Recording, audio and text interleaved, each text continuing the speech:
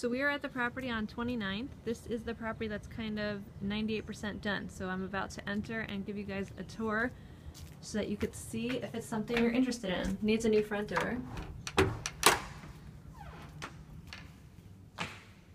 So this looks nice. It's a little bit funky, this entryway.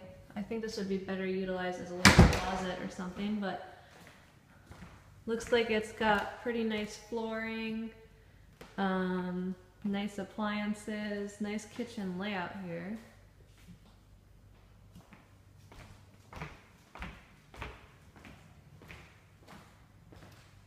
Looks like the windows need latching. The doors, these sliding doors don't seem to open. They don't have doorknobs or anything, so that needs to be fixed. This looks like it would be the laundry room. There's attic access.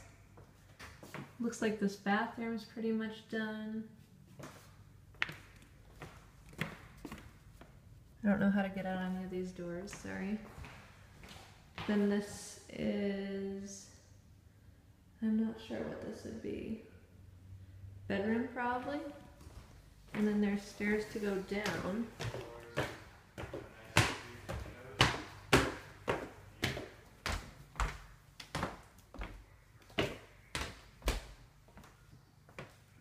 Hmm.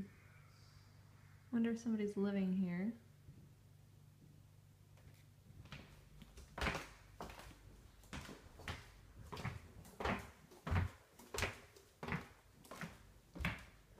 So bathroom that needs to be completed here. Definitely seems like somebody's living here. Huh, so this could be a big walk-in closet, I guess. And I guess this would be the master because here would be the ensuite. Here's the bedroom. Here could be the walk-in closet, I guess. And then I don't know how to open any of these doors, but the view is pretty nice.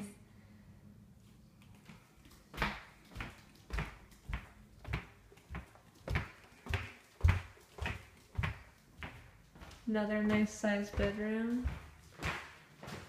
Oh nice, a Jack and Jill bath. This bathroom's pretty much done. A little bit of a funky flooring, vanity, and shower tile choice. Kind of looks like he got a bunch of stuff at a discount sale, but it looks, you know, double vanity and the Jack and Jill is nice. Pretty reasonable sized bedroom in here. And then, hmm, this is interesting.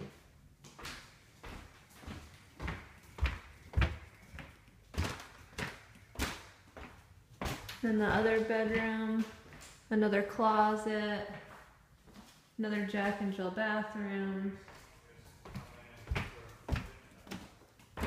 And then this is a funky little room into a crawl space. Hmm. So maybe this room could be used as storage or something. Not sure. And here's another closet. So very interesting space.